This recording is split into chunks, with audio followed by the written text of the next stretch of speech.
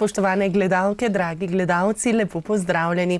V tokratni vdaji Župan z vami smo v studio povabili župana občine Mozirje, Ivana Suhoveršnika. Lepo pozdravljeni. Lepo zdrav vam in seveda vsem, ki bodo naj spremljali. Če najprej pogledava zadnje leto, nas zanima, kako ste zadovoljni z realizacijo zastavljenih ciljev od preteklega praznika občine Mozirje do letošnjega. Ja, res je navada, da ob občinskem prazniku se pregleda, se pravi od Jurjevega do Jurjevega. Moram reči, da v vseh teh letih županovanja so to različna obdobja. So bila obdobja, ko smo se lahko pohvalili, so bila obdobja, ko je bilo kar veliko krize, ni bilo razpisov, ni bilo sredstev in tako dalje. No, v zadnjem, v zadnjem času ali pa v tem zadnjem obdobju, se pravi Jurjevo 22, Jurjevo 23, pa lahko rečemo, da je občini Moziri bilo veliko realiziranega, polno projektov, tako da v vseh teh 20 letih županovanja je verjetno prav to leto ko je bilo v naši občini največ investicij. Naj bodo v infrastrukturo, potem imamo zdravstvo, imamo šolstvo, se pravi vzgoja, tudi, tudi, tudi še razne druge zadeve, kot je recimo sama kolesarka, potem optika se je po celi občini uh, odpirala. Prav, pravzaprav je res bilo to leto investicij in tega sem zelo vesel. Ne na zadnje, občani prav to največ vidijo ko se sprejema proračun, nobenega pravzaprav niti ne zanima toliko, koliko bo šlo za šolo, za vrtec, za socialo, zdravstvo, društvo in tako dalje, ampak kaj bo pravzaprav se naredilo v domačem kraju. In čim več se naredi, tem boljše je. Mhm. No, v preteklem letu, ki so ga zaznamovali tudi županske volitve, eh, so vam spet eh, izkazali občani eh, podporo. Čeprav spet niste imeli proti kandidata, je bila vseeno volilna udeležba zelo dobra. Uh, ja, jaz sem bil vesel, da ni bilo uh, proti kandidata, no, ampak vseeno uh, pripravil sem program, malo smo pogledali za nazaj, se pravi, kaj, kaj je bilo realizirano in lahko rečem, da praktično skoraj da vse. In pa seveda program, kaj naj bi se uh, zgodilo v teh nadaljnih štirih letih. In uh, hvala Bogu, dobil sem podporo, se pravi zaupanje, hkrati pa tudi odgovornost.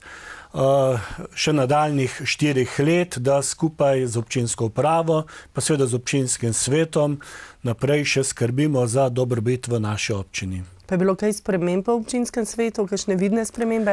Nekaj, veliko pa ne. Tri četrt je ostalo starih v narekovaju.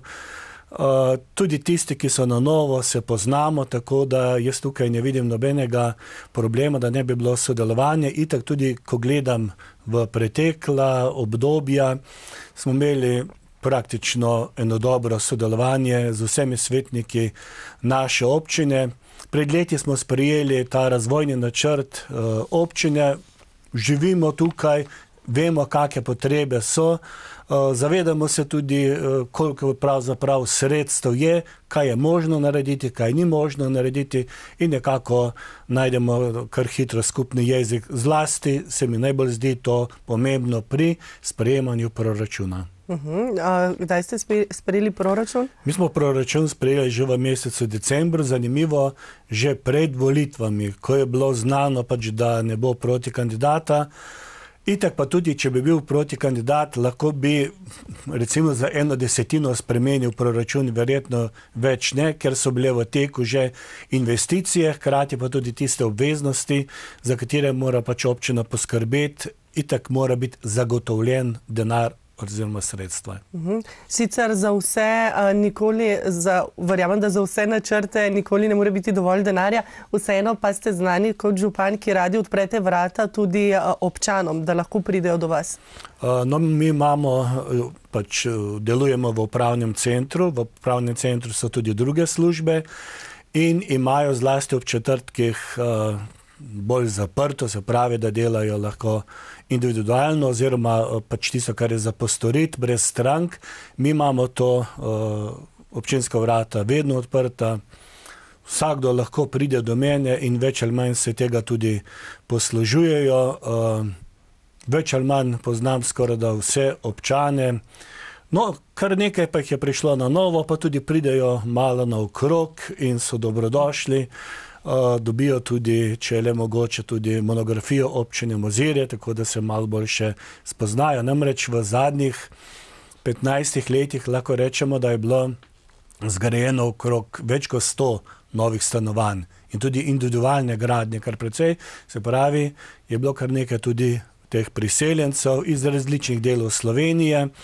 In počasi se vključujejo tudi v naše življenje. No. Kaj pa si želite na tem področju, a, glede priseljevanja? To prinese tako pluse kot minuse občini?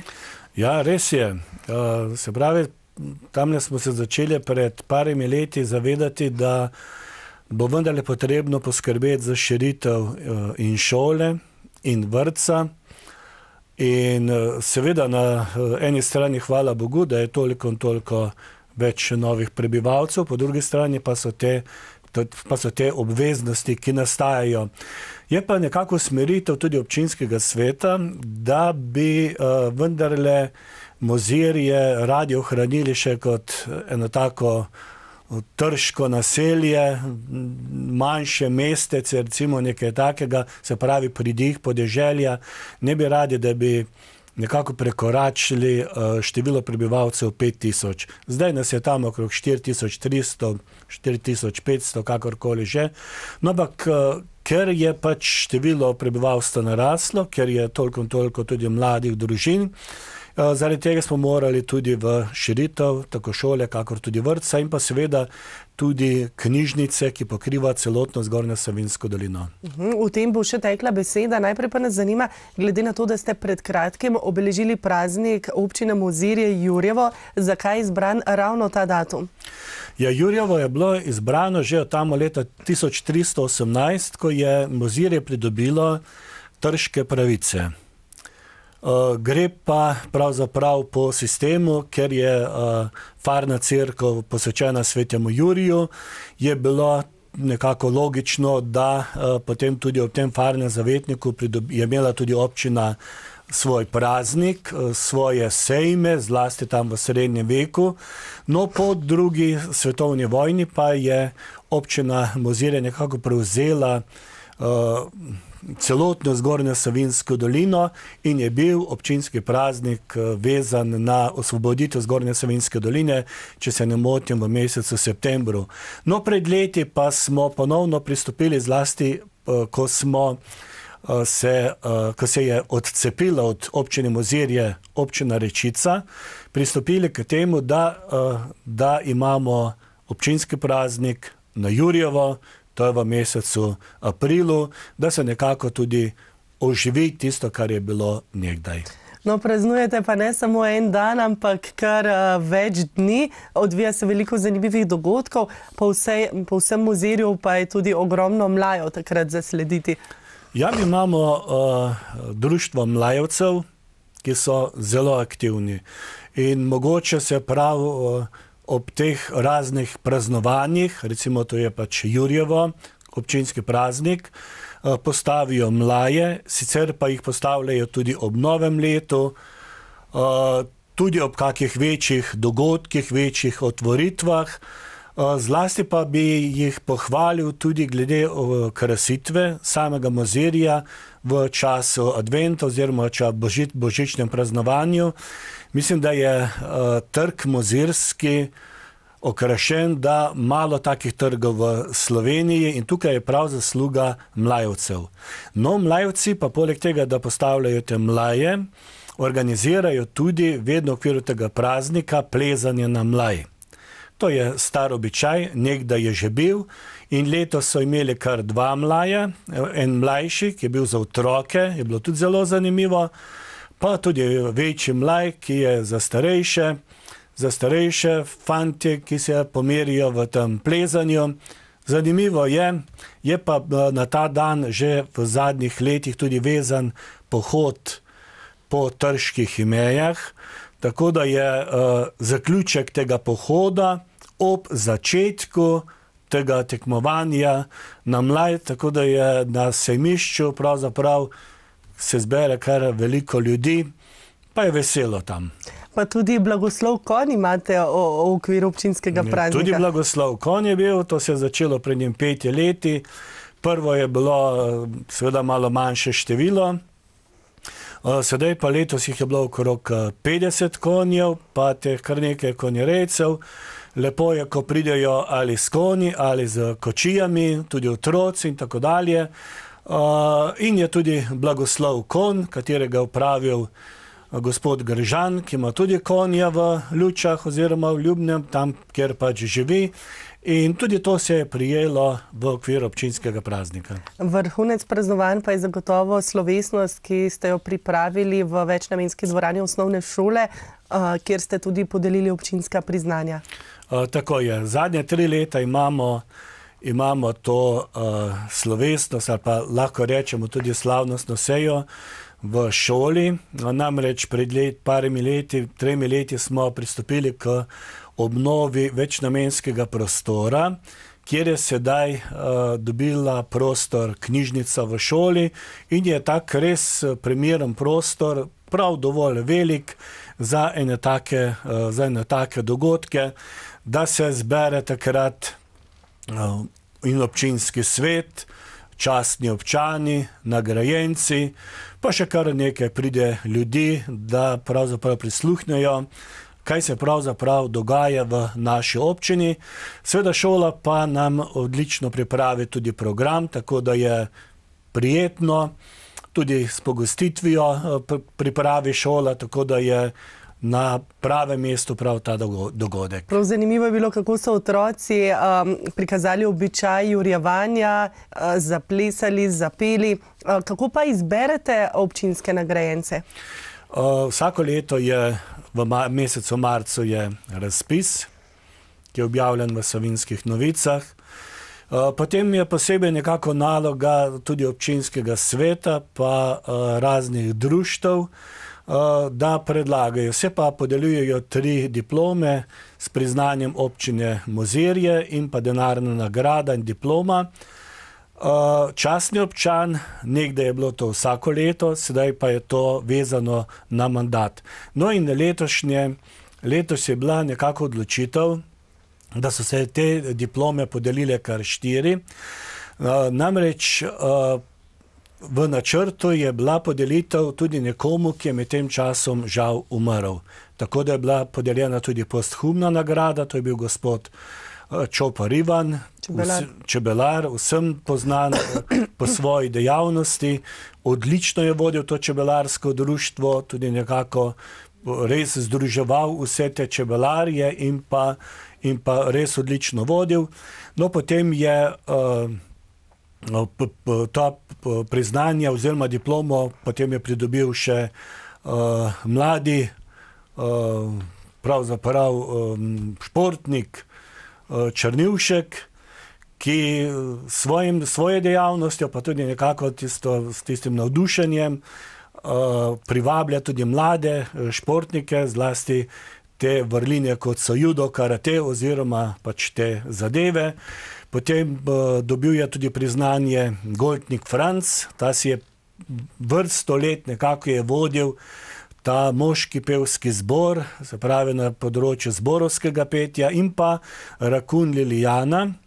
Ona pa res v zadnjih letih eh, vse čas posveča svojemu društvu eh, sožitje, se pravi tem, ki so še posebej potrebni, pozornosti, potrebe, sočutja in ona res prav zna to voditi. No, denarno nagrado z diplomo pa je dobilo Šmehelsko podrželjsko društvo mladih, ki deluje že kar 50 let. Ti pa so nekako res dejavni tukaj v Šmihelu na vseh področjih, naj bo to kulturno, športno in pa tudi nekako, da mm, organizirajo razna tekmovanja, tudi sodelujejo širom Slovenije v okviru teh eh, mladih eh, zadružnikov. Eh, so pa najbolj poznani potem, ko organizirajo ta očarski praznik v Šmihelu. Kdaj pa poteka očarski praznik? Očarski praznik je vedno prvo nedeljo po po 15. augustu, se pravi po Velikem Šmarnu. Uh -huh. V nagovoru pa je ravnateljica šole Mozirje dejala, da se že zelo veselijo novega šolskega leta jeseni, ko bodo pridobili tudi nove prostore, ki ste jih že uvodoma omenili. Pa vseeno, kaj vse se bo postorilo? Ja, v zadnjih letih ali pa v vseh teh mandatih se je nekako vse čas uh, šola širila. Že nekako tam okrog leta 2004-2005, dodatno dva razreda, pa en kabinet, potem v, 20, v letu 2008, če se ne motim, uh, veliki projekt športne dvorane, pa povezava z uh, šolo. No, v zadnjem času, potem ta uh, nova knjižnica v večnamenskem prostoru in pa seveda potrebe po novih prostorih. Tako da mi smo pristopili, hvala Bogu, pravočasno k projektni dokumentaciji, tako da smo lahko kandidirali na razpisna sredstva še za časa prejšnje vlade in tukaj smo kar nekaj sredstev pridobili tako za uh, šolo, kakor tudi za vrtec. V šoli bomo pridobili pravzaprav tri dodatne razrede in pa prostore za zbornico. Uh, v prostorih, kjer je zdaj zbornica, pa, pa, pa pisarne in pa mislim, da je bila prav knjižnica prej, pa ravnateljica, bo tudi prišlo do adaptacije, tako da tudi uprava dobi uh, nove prostore. Pravzaprav s tem projektom mi veliko, veliko pridobimo. Zbornica je bila itak uh, enkrat premajhna, ti razredi pa bodo tudi služili uh, seveda temu, da bodo uh, lahko delali in učitelji oziroma učiteljce in pa seveda, da ne bo, da ne bo kakšne večje, večje gneče. Dela, projekt je zaupan firmi Ezoteh, delajo. Jaz mislim, da bo tole končano tjale do konca junija, ampak gotovo bo otvoritev bo tam v začetku septembra ali pa nekaj takega. Prav v tem času se pogovarjamo glede same opreme in pa seveda tista adaptacija, de, to se bo delalo med samimi počitnicami. Se pravi, novogradnja bo zdaj v vsakem kratkem končana, adaptacija pa, ko bo.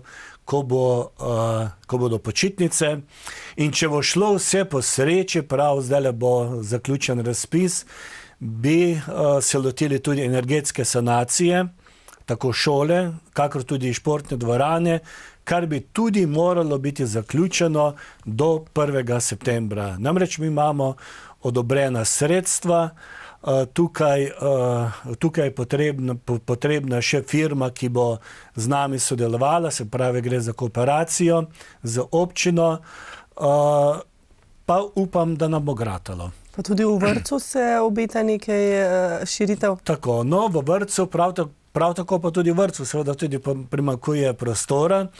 V zadnjih letih smo večkrat večali na levo, na desno, spodaj, zgoraj. Uh, kuhinja je mala in seveda tudi tukaj smo pridobili kar nekaj sredstev, tako da bodo zdaj dve oziroma tri nove enote, nova kuhinja in pa še tisti dodatni prostori. Tudi ta zadeva, zadeva mora biti končana do, uh, do meseca septembra. Bi pa omenil še tudi to, da uh, letos bomo odpirali vrtec tudi v Šmihelu. Šmihel, do zdaj ga ni bilo. Do zdaj ni bilo. Šmihel je sicer majhna vasica pod Goltem, nam je vsem poznana. In hvala Bogu, ker mladi so pridni in lepo delajo. Uh, tako da bomo v letošnjem letu, v, do septembra, bo vrtec tudi v Šmihelu, pravi, da bo okrog 10 do 12 otrok, tako da bo na nek način tudi to razbremenitev za samo, za samo mozirje. Se pravi, to so investicije, šola, vrtec. Hvala Bogu, da smo pridobili sredstva, sicer sami to gotovo ne bi zmogli. Kakšna pa je celotna vrednost investicije? Celotna vrednost investicije je okrog 3 milijone 600 z DDV-jem, pridobili pa smo sredstvo okrog milijon 600 nekaj čez, pa seveda v lanskem letu smo najeli tudi kredit, seveda z dovoljenjem Ministrstva za finance, kakor tudi občinskega sveta, namreč to je določena procedura. Vzeli kredit milijon sedemsto tisoč evrov. Mnenja smo, da gre za naložbe, ki so dolgoročne, ki so nujno potrebne in se ne bojimo, da ne bi mogli to tudi vračati v naslednjih desetih letih. Torej, število prebivalcev v Mozirju narašča. Kaj pa je po vašem mnenju ključni razlog za to, poleg tega, da ima res čudovito lego in da je trend v zadnjih letih, da gredo ljudje iz mesta raje na podeželje? Ja, zanimivo, da Mozirje je nekako postalo kar privlačno. Pred kratkim sem govoril z gradbincem, ki si močno, močno želi, da bi v Mozirju gradil še stanovanjske bloke, vendar to ne bo šlo. Pravi, da ne bi bil noben problem mu prodati vsaj petdeset stanovanj. Res v zadnjih letih se je v Mozirju veliko postorilo, nekako tudi na zunaj, če pride v Mozirje, je gotovo ena sprememba. Ves čas smo se trudili, da je urejena infrastruktura, da je za tisto, kar je pravzaprav še posebej zadolžena občina, urejeno. V zadnjih letih je pač nastalo oziroma zgrajeno bilo toliko in toliko stanovanj. Če Mozirje ne bi bilo zanimivo, tega gotovo ne bi bilo. Hkrati vemo, da je to trgovski center, da je tukaj upravni center, da je kar veliko teh ponudnikov turizma. Želim posebej omeniti tako Golte kakor tudi gozdna šola. In pa še drugi, ki se nekako trudijo v tej smeri, se pravi, in pa seveda Mozirski gaj. Mozirje pravzaprav je res nekako postalo poznano tudi v Sloveniji in tisti, ki prihajajo tja, kaj se radi vračajo. Občine Zgornje Savinjske doline pa ste pristopile tudi k projektu gradnje zdravstvenega doma, ki že raste v občini Mozirje. Torej sedem občin in ste si tudi razdelile nekako deleže. No, raste v občini Nazarje. Nazarje. Smo pa v občini Mozirje zdaj v zadnjih letih, tudi lahko rečem, res vse postorili v zdravstveni postaji v Mozirju. Tako da je odlično poskrbljeno za reševalce. Dve dodatni ambulanti, cela stavba je na neki način obnovljena, tako da lahko rečemo, da je, da je res urejena zadeva. Hkrati pa je seveda bilo potrebno kar veliko usklajevanj, da smo prišli do tega velikega projekta, novega zdravstvenega doma v Zgornji Savinjski dolini. En čas smo govorili o prizidku, pa vendarle to ne gre za prizidek, gre za novo stavbo, kjer bo veliko prostora za vse te dejavnosti, ki pač se morajo odvijati v okviru zdravstvenega doma. Res pa je, da je ta projektna dokumentacija se nekako kar vlekla pa spreminjala pa eno pa drugo pa tretje. Na neki način sodelovali in zdravniki, sodelovala potem civilna iniciativa, po drugi strani župani in tako dalje, in preden se je vse skupaj uskladilo, pa tudi pridobilo vsaj nekaj teh evropskih sredstev, in pa seveda nujno potreben je bil nekako razdelilnik med občinami, potem pa je šlo v gradnjo. Pa jaz sem prepričan, da bo res se to dogodilo do konca leta, namreč v mesecu januarju prihodnjega leta ali pa tja do pomladi bo gotovo tudi uporabno dovoljenje. Vem, da firma Remont, ki to dela, dela dobro in da bodo, bo ta zadeva tudi končana. Bo pa to resnično velika pridobitev za vse občane Zgornje Savinjske doline. Itak se lahko tudi pohvalimo, Zgornjesavinjčani, da pravzaprav nimamo kakih problemov glede družinskih zdravnikov. Tarajo pač tisto problemi zdravstva, katero kot v celotni Sloveniji, ampak glede družinskih zdravnikov in pa dostopnosti pa tukaj, tukaj vidim, da pravzaprav problemov ni in tukaj je gotovo imenitno odigrala tudi direktorica zavoda, gospa Hercogova, ki imenitno vodi zdravstveni dom v Nazarjah. Mhm, glede na to, da po večini Slovenije pa je kar težava z družinskimi zdravniki, pri vas teh težav ni, pa tudi a, pediatrične ambulante bodo sedaj lepo razdeljene, tako kot je potrebno za zdrave in za bolne otroke. Sem... O, tako je. O, Jaz kar nekako občudujem, ker je vse čas uh, govora, kako težko je priti do novih zdravnikov, naj bo to družinski, kakorkoli že. Uh, direktorci je, hvala Bogu, to uspelo. Uh, nujna medicinska pomoč je sedaj tudi na ljubnem, tudi zdravstveno postaje v, v, v, na ljubnem se bo širila, se pravi nova pediatrinja in tako dalje. Res imamo te zadeve kar pošlihtane. Ste pa skupaj z občino Nazarje in Rečico ob Savini decembra predstavili uspešno zaključen projekt odvajanja in čiščenja v porečju Savinje. Tudi to je eden izmed najbolj pomembnih uh, projektov. Ja, to je projekt, ki je uh, vse čas nekako bremenil ne samo občino Mozirje, ampak tudi ostale dve občini. Namreč čistilna naprava, ki je bila iz 80-ih let prejšnjega stoletja, je uh, res uh, dobesedno uh, zadeva ni več funkcionirala. In nujno potrebno je bilo pristopiti k novemu projektu. Bil pa je problem, da smo uh, pač v tistih letih, tam okrog leta 2010, 2012, 2013, uh, vse čas računali na sofinanciranje. Žal ni bilo, projekte smo pripravili, uh, potem smo začeli z investicijo same čistilne naprave, se pravi širitvijo in obnovo in tudi novega sistema z lastnimi sredstvi. No, v letu 2016 pa je vendarle se začelo odpirati, da, bi, da smo lahko pridobili tudi sredstva, tako za prvi del, kakor tudi za drugi del. Se pravi, mi smo v lanskem letu zaključili drugo fazo.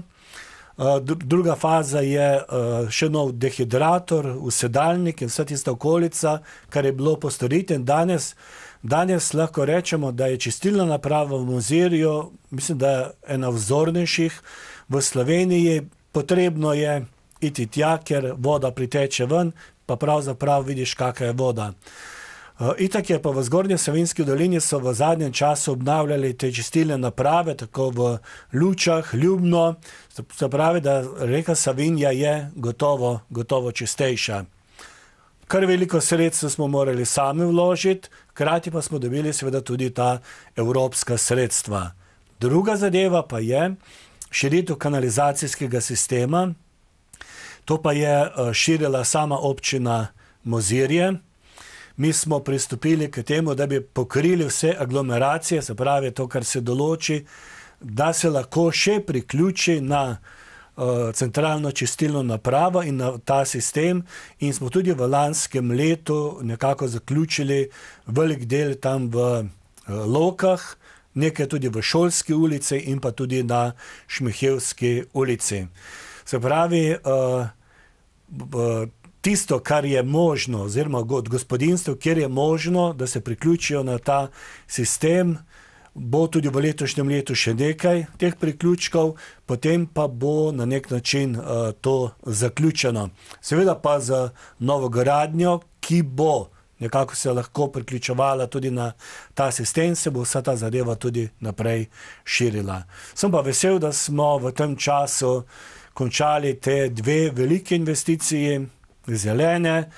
Uh, če gremo na čistilno napravo, se pravzaprav veliko vidimo, da je novega, ampak ne vidimo pa, koliko pravzaprav je sredstev vloženih v to, da imamo čisto. Čisto Savinjo. Uh -huh. uh, koliko faz, če ste rekli, da ste zdaj v drugi fazi, koliko faz pa vključuje? Uh, drugo fazo smo zaključili, uh -huh. se pravi, prva faza je bila zaključena tam v 18, zdaj pa zaključena druga faza. Verjetno si niti ne predstavljamo, o kakšnih finančnih uložkih govorimo. Tukaj je, mislim, da blizu okrog 3 milijone je ta obnova oziroma širitev. Seveda razdeljeno potem tudi po razdelilniku, največji delež ima seveda občina Mozirje, potem pa tudi Nazarje in pa, in pa Rečica. Bilo pa seveda potrebnih kar veliko tudi usklajevanj, sestankov, da smo nekako prišli do vsega tega. Za vse tiste, ki pa živijo na bolj oddaljenih območjih, pa ste so, objavili tudi razpis za sofinanciranje malih čistilnih naprav. Tako mi imamo vsako leto ta razpis in vsako leto se jih tudi kar nekaj prijavi, seveda morajo prinesti potrdila tudi od naše komunale da je zadeva tako, kot, kot je, se pravi, da je urejena, da je tisti monitoring upravljen in potem dobijo tudi povrnjena sredstva, saj mislim, da vsaj do polovice je povrnjenih sredstev. Uhum. Kakšen je bil pa glavni cilj projekta? Torej, bolj čisto okolje, čista voda? Glavni projekt je seveda v okviru tega uh, povodja Savinje, se pravi čista, čista uh, reka Savinja. Vemo, da uh, ko je v muzirju, a pa tam v lokah, kjer je ta čistilna naprava, kjer ni delovala, je praktično bila ta uh, čistilna naprava kot ena pretočna zadeva.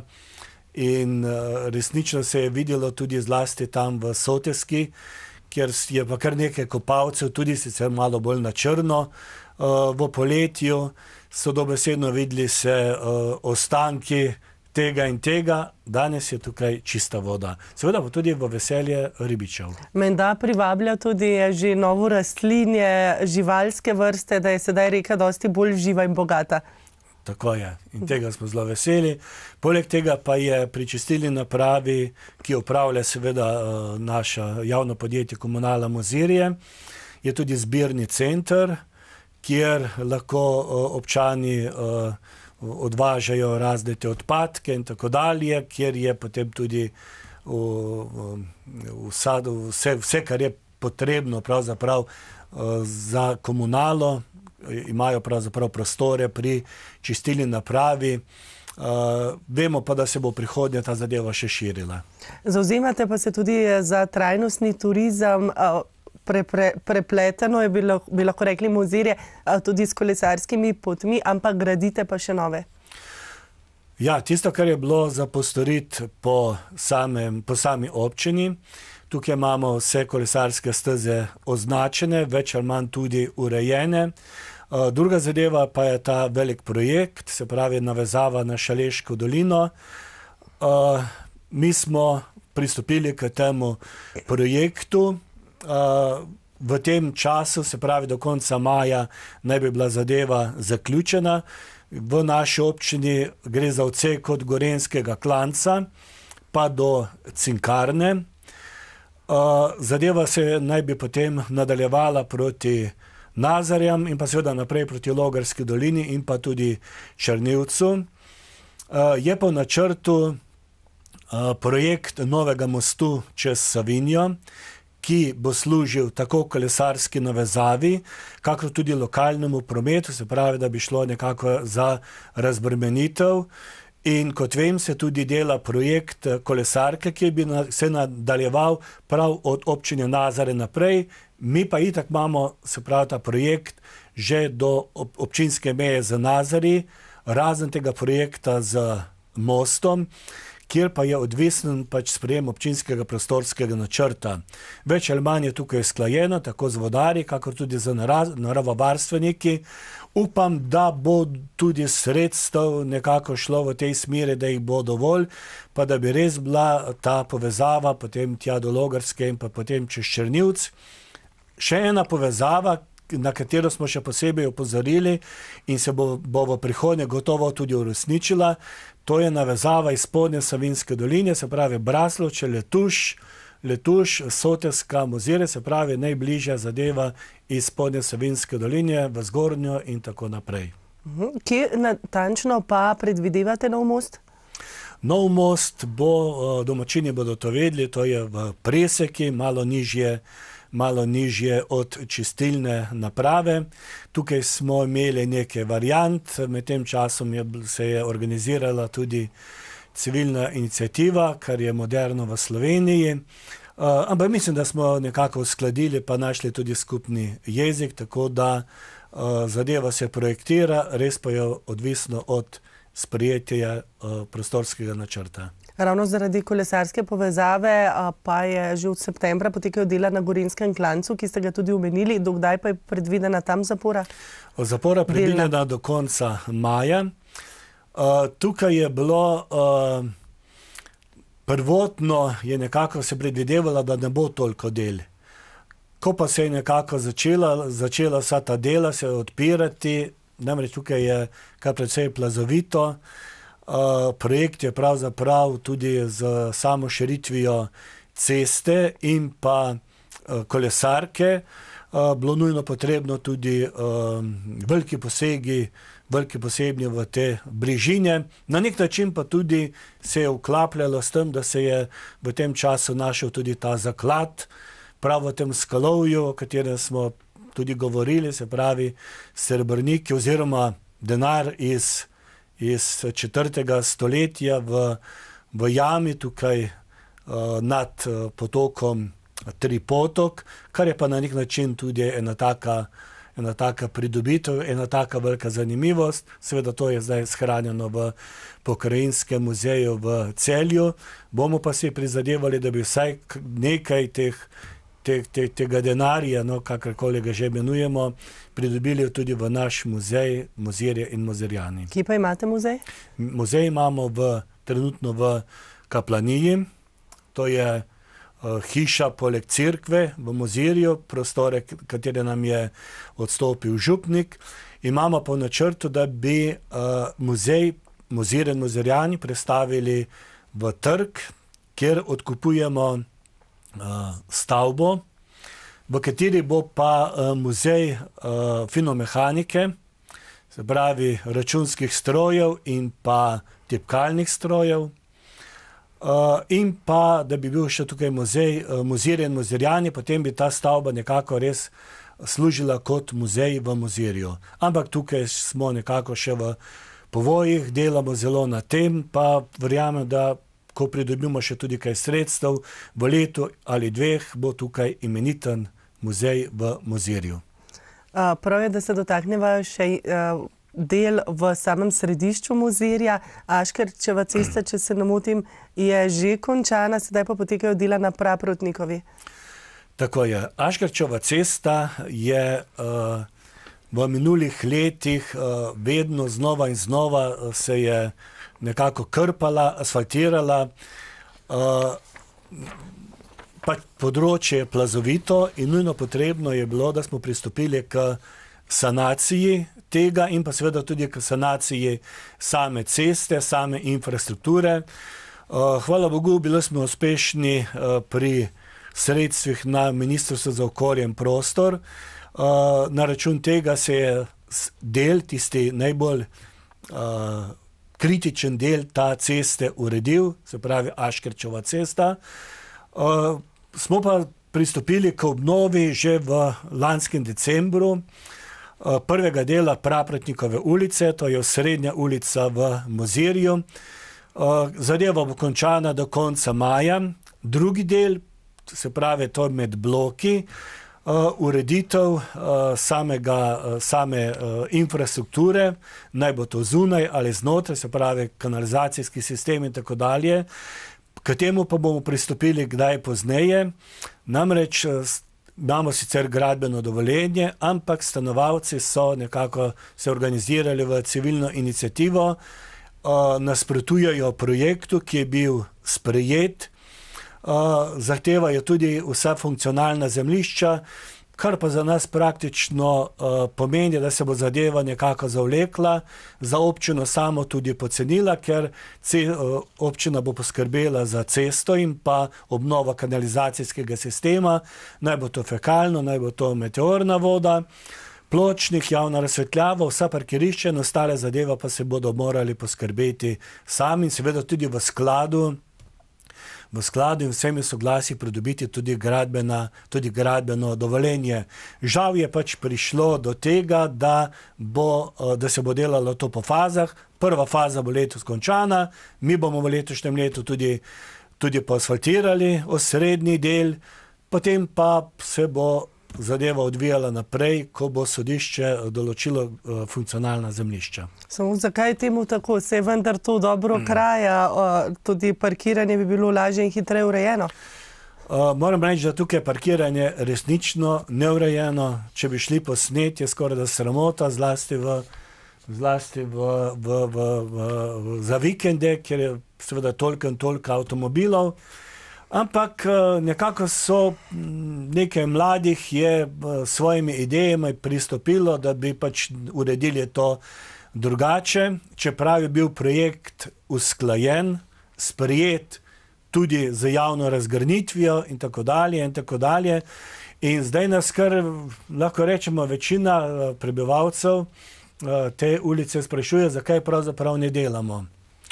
So pa takrat nekako bili tudi zavedeni, da so dali vsi podpise, da se, ali vsi, no, večina podpise, da se ne strinjajo s tem projektom, da želijo nov projekt, ampak nov projekt je uh, nekako, ki je bil predstavljen strani teh pobudnikov, se pravi, da bi bilo uh, brez zelen, večjih zelenih površin, brez uh, uh, kakih uh, drevja, brez uh, klopci in tako dalje. Prej je bil projekt dobro pripravljen. Dobro pripravljen, saj na nek način uh, hiša, ki je pripravila ta projekt, se s tem ukvarja uh, in bi bilo na, na nek način urejena, urejene površine, tako pa bo potreben čas, pa verjetno prej ali slej se bo to uredilo. Ali so v načrtu še kakšna dela na infrastrukturi? Ja, na infrastrukturi teh del ne bo nikdar zmanjkalo. Mi smo v lanskem letu uredili tudi tako imenovani Šajzbah, ki teče skozi Mozirje. Dolgo časa smo nekako sklajevali z, z direkcijo za vode, naj bo to odprt ali zaprt del, seveda mora biti odprt, s tem pa smo uredili tudi kar nekaj, nekaj parkirišč. Vsako leto, vsako leto postorimo toliko in toliko na cestah. V lanskem letu smo tako na Lepi Nivi, kakor tudi na Brezijah, potem tudi v samem, v samem Mozirju. Pač kolikor nekako stane teh sredstev za infrastrukturo, tudi v letošnjem letu se bo kar nekaj postorilo. Gotovo pa bo vedno nekako problematika, da te lokalne ceste niso dovolj dobro urejene. Na nek način se s tem tudi strinjam.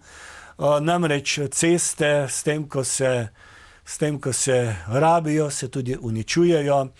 In če je dobro pripravljena podlaga in odvodnjavanje in, in tako, kot je potrebno, zadeva dalj časa zdrži, sicer pa, če bolj na hitro je pripravljeno, pa tudi bolj hitro vse skupaj uničeno. Je pa res, da je tudi veliko zaselkov in oddaljenih hiš in je težko poskrbeti čisto za vsako cesto do Tako vsake je. hiše.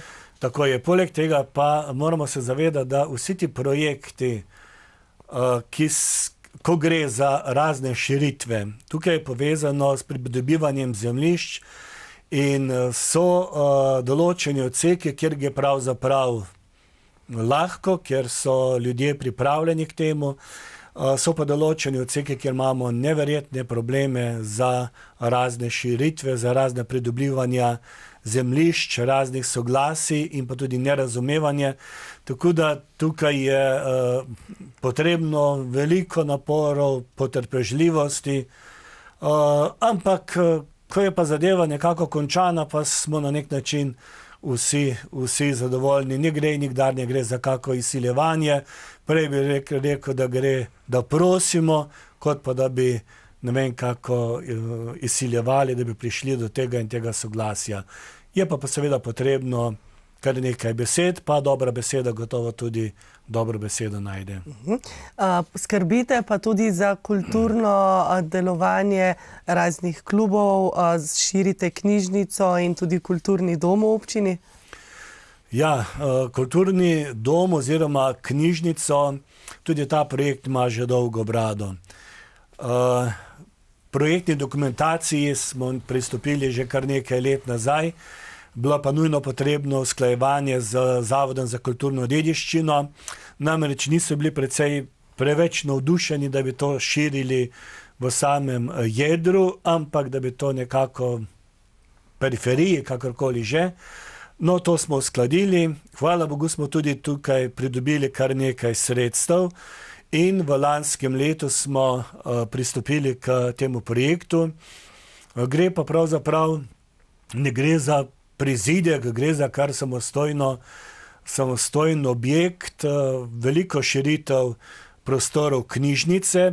V spodnjem delu bo uh, bolj namenjeno za mladinski del, otroški del, otroci lahko letajo zgor gor in dol, spodaj bo tudi domoznanska zbirka, arhiv bo in pa tudi prostor, kjer bo za razne sestanke, spodaj bo tudi prostor za videčnikovo zbirko, osrednji prostor bo širitev knjižnice, velika pridobitev, no zgornji del pa bo posebej namenjen za prostor, kjer bodo vadili uh, uh, zagodbo Zgornje Savinske doline, ki je uh, imenitna, se pravi dobro društvo, ki dobro deluje, ki so poznani, ki imajo priznanje.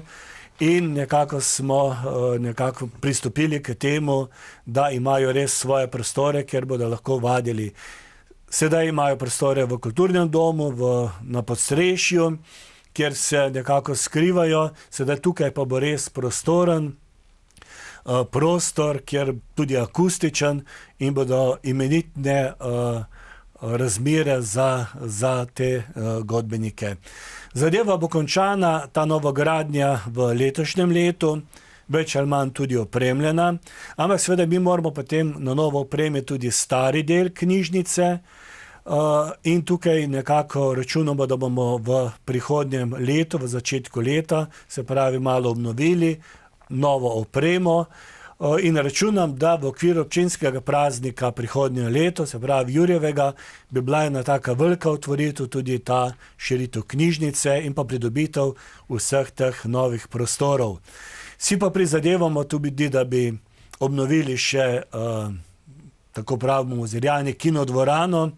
Projekt imamo, računamo, da bomo pridobili tudi kakšna sredstva, pa pripričan sem, da bomo v parih letih tudi to postorili. Ja, odkud ste pa črpali, oziroma še črpate finančna sredstva za knjižnico in za kulturni dom, ki sta tudi tako velika uh, objekta? Tudi, tudi za to zadevo smo se pravzaprav uh, zadolžili, namreč zadolžili smo se prej, kot sem omenil, za te tri velike projekte, se pravi šola, vrtec in pa knjižnica, delno tudi Praprotnikova ulica, čeprav smo mislili, da bi delali v celoti, pač če ni, ni šlo, ni šlo.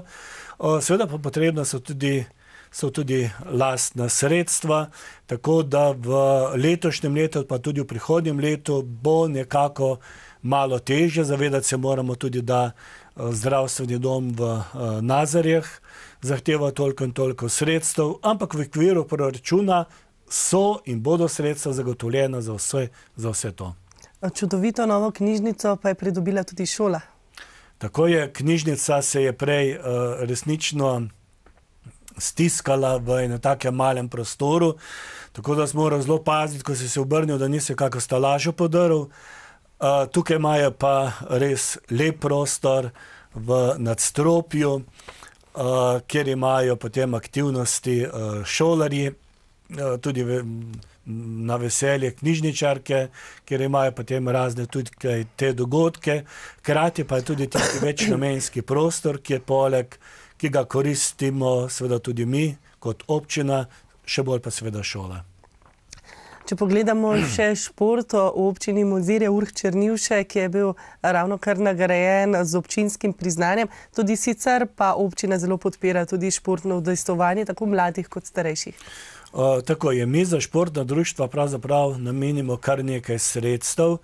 Bil pa je sklep, da zdaj v zadnjih letih nekako kar res še, še bolj povečujemo imamo aktivne, zlasti te uh, mlade od, odbojkašice, odbojkarice in pa nogometni klub uh, Mozirje.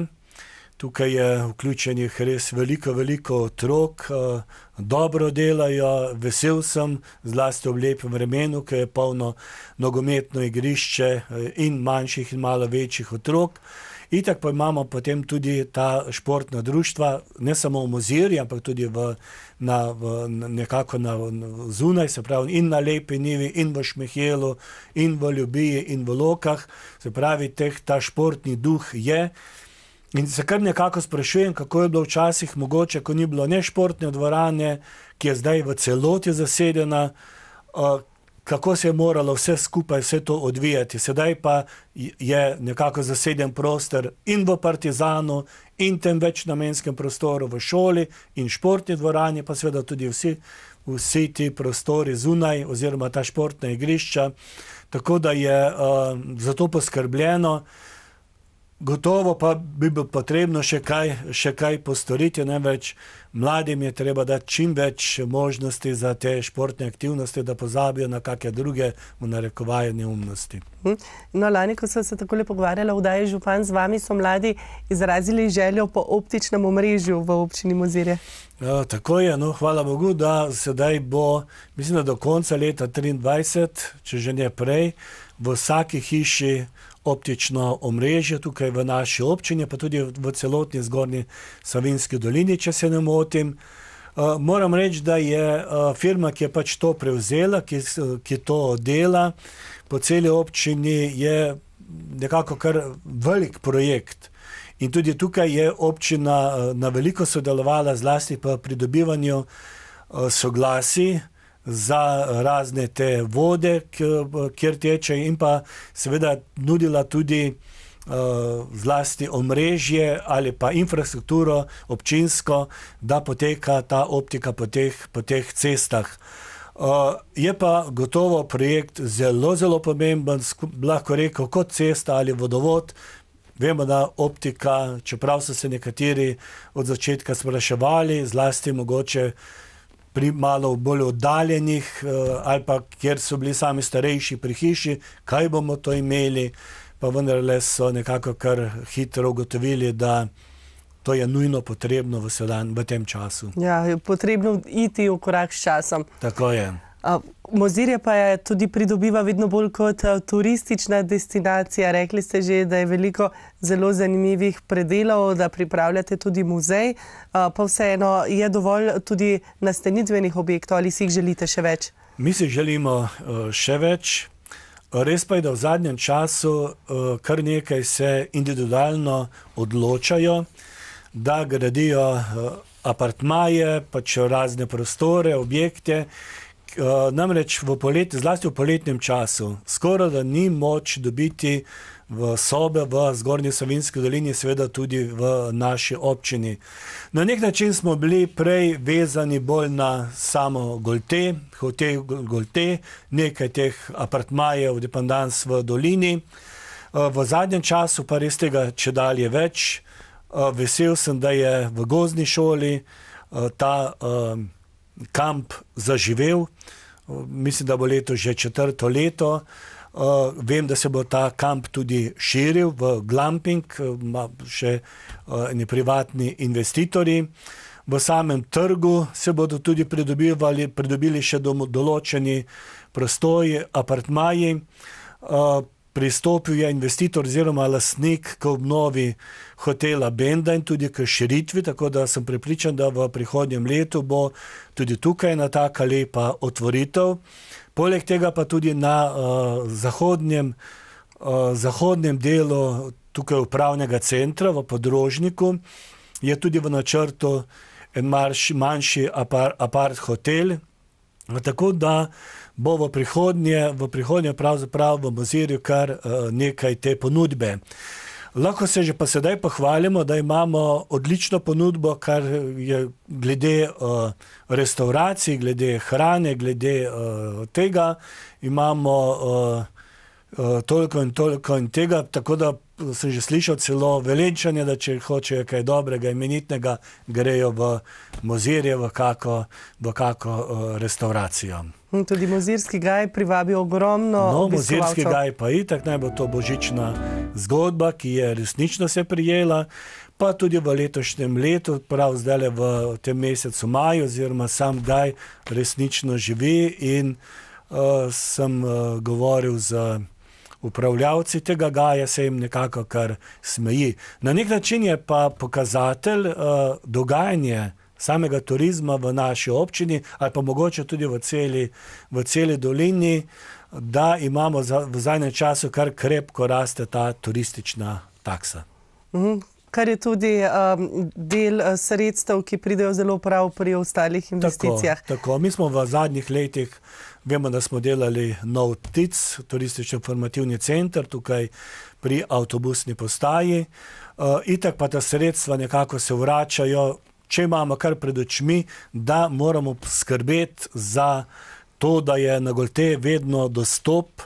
Se pravi, v zimskem času tukaj gre veliko sredstev, tako da tiste sredstva, ki jih mi pridobimo, pridobimo kot turistična taksa, vse se vrača v nekako v tej smeri. Mhm, nekaj časa je bila uh, gondola ustavljena na Golte zaradi pokvarjene jeklenice. Uh, ja, bilo je v lanskem letu, so imeli kar nekaj problemov. Prvo je bilo, da je vodovod spuščal na veliko. Pristopili so k obnovi vodovoda, se pravi, firma Golte, tisto se je uredilo. Krati se je ugotovilo, da je nujno potrebno uh, pristopiti k menjavi nosilne vrvi, žice tudi to so postorili. Tako da zdi se mi, da tam okrog 20. decembra je bila vendarle, vendarle otvoritev, oziroma se je začela sezona na Golteh. In kot sem slišal, so bili kar zadovoljni z letošnjo sezono na Golteh. Kot vem, pa se bo zdaj v letnih mesecih veliko dogajalo na Golteh, glede investicij, kar obnavljale se bo tudi dve žičnici eno otroško igrišče, zipline in tako dalje. Firma Golte je pridobila kar veliko sredstev in v letošnjem letu se pravi, mora vse to tudi izkoristiti in pa kar, je, kar so obljubili, tudi postoriti. Tik pred odprtjem pa je tudi izjemno priljubljena destinacija, ki spada pod občino Mozirje, to je seveda Mozirska koča, ki je imela kar nekajkrat smolo, da je pogorela in po zadnjem požaru je zdaj že skoraj obnovljena. Ja, pred dvemi leti, ko smo spremljali uh, ta požar na Golteh, smo nekako skrbijo, pa tudi razočaranjem, pa z grozo opazovali ta velik požar. Uh, bilo pa že takrat nekako dana tudi obljuba, uh, da, bomo, da bomo skupaj s planinskim društvom, pa, ali pa planinsko društvo na nek način to vodi to zadevo skupaj z občino, da bo v dveh letih uh, tukaj tuk, tudi nova koča. In planinsko društvo, zlasti pod uh, vodstvom novega predsednika Goličnik Boštjana, ki svojo ekipo je resnično zagnan, pa seveda potem tudi s pomočjo občine. Uh, ta zadeva nekako dobiva končno podobo. In po zagotovilih naj bi bila otvoritev tam sredi junija. Prepričan sem, da se bo to tudi zgodilo. Je pa to, to tista uspešna zgodba, če pristopijo k taki zadevi domačini. Ti, ki jim ta zadeva veliko pomeni. Res je, da so pridobili kar nekaj, planinsko društvo pridobilo nekaj sredstev, tudi od države in pa tudi od zavarovalnice, hkrati pa je bilo veliko sredstev, kar nekaj sredstev zbranje tudi preko, uh, preko raznih uh, donatorjev. Moram reči, da posebej tukaj se angažira tudi naša občina, saj pravzaprav nam ni vseeno, uh, ali ta planinska koča živi ali pa životari. Se pravi, vesel sem, da bo prišlo do te otvoritve in sem prepričan, da bo to en vesel, velik dogodek v mesecu juniju na Golteh. Če pokomentirate še malce nov videz muzirske koče, se mi zdi, da lepo so upada v okolico. Krasna zadeva je, se pravi, urediti je potrebno še malo okolico, tudi to smo dogovorjeni skupaj s planinskim društvom. Vem pa, da se tukaj veliko angažiralo tudi uh, prostovoljcev, in je še pripravljenih, se pravi, tukaj se ne bojim, da ne bi bilo do otvoritve urejeno tako, kot mora biti. Za konec pa morda še to, če se si še najbolj želite, tako le pred, uh, pred pragom poletja. No, jaz si želim nekako v tem mandatu še, da bi vendarle mogoče nam gratalo, da bi na prostoru, kjer imamo rezerviran socialni program, vendarle nastavimo v Mozirju tudi en tak dom starejših ali pa medgeneracijski center, se pogovarjamo v tej smeri, zavedam pa se, da bo nekako kar težko, ampak vendarle volje je veliko, vem, da bi bilo za to pravzaprav velika, velika pridobitev. Zelo si prizadevam, da bi bilo v teh, tem mandatu še tudi še ta dva, recimo ta hotela v Mozirju, da bi se tudi to uresničilo. Seveda pa, da bi uh, vsi Mozirjani nekako skupaj skrbeli, vedno želim to poudariti, da uh, prepoznavnost občine je odvisna od nas vseh. Če skrbimo za to, da je kraj urejen, da je kraj privlačen, uh, potem je nekako tudi res kraj tak. In tu radi živimo, in pa tudi radi tudi nekako sprejmemo, sprejmemo goste.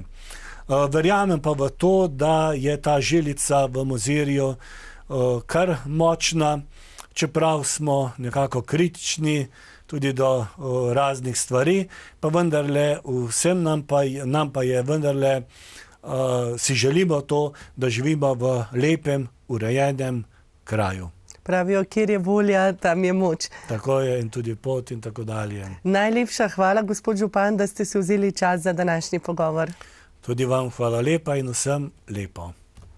Spoštovane gledalke, dragi gledalci, hvala za vašo pozornost in nasvidenje.